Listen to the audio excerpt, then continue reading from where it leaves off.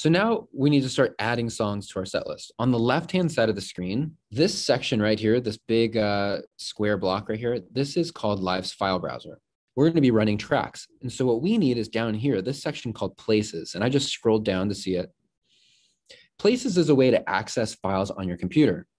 So you can click on add folder and then choose a folder on your computer to add a shortcut to.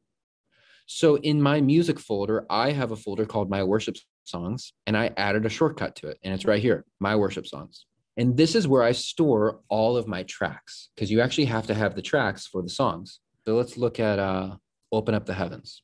You've got every instrument as its own WAV file. And that's what we're going to use inside of Ableton Live. So let's go ahead and do Open Up the Heavens. That's our first song. So I'm going to right click on our first song in the set list right here. I'm going to right click and choose Rename. And I'm going to call this Open Up the Heavens.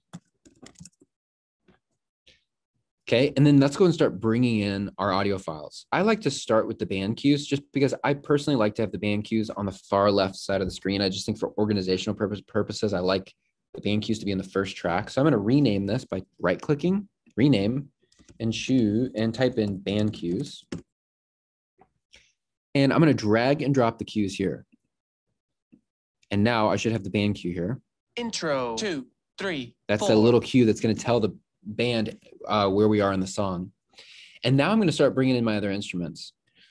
Notice that when I drag and drop it, it's going to create a brand new track for me automatically. I'm going to do that for the bass as well.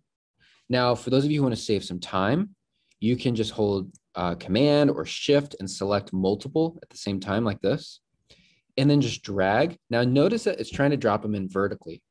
We don't want them to drop in vertically. So instead, what you do is while you're dragging it, just hold the command key and it will drop them in horizontally. And it created a bunch of, bunch of tracks for me.